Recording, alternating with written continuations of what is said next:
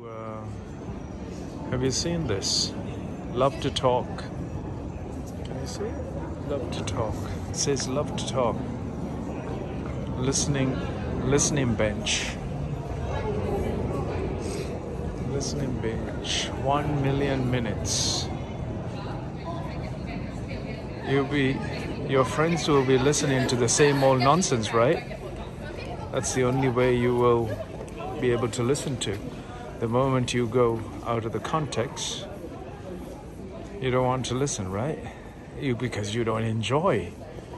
What you enjoy is your same old nonsense that you carry on with that we have carried on for what centuries, if not for millennia.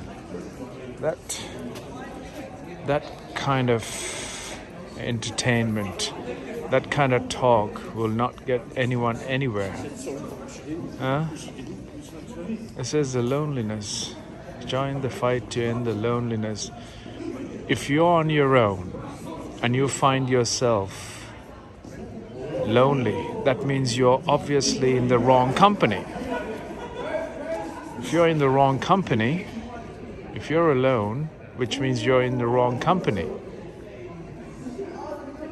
As a human being, you're capable of being, just being, not talking, not doing absolutely anything, not watching, not texting, not candy crushing. There's no such thing as loneliness, folks. There's such a called compulsions. Can you hear? Friday night, the noise, drunkenness, nine o'clock in the evening. Can you hear it? There's where the loneliness happens. That's that's what you call loneliness.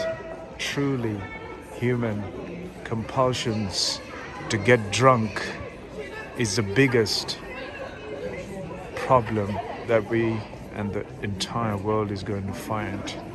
These are these are so-called the uh, educated ideas. Is that correct?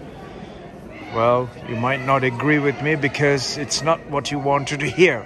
So you surely not agree, and you will not love to talk to me for sure.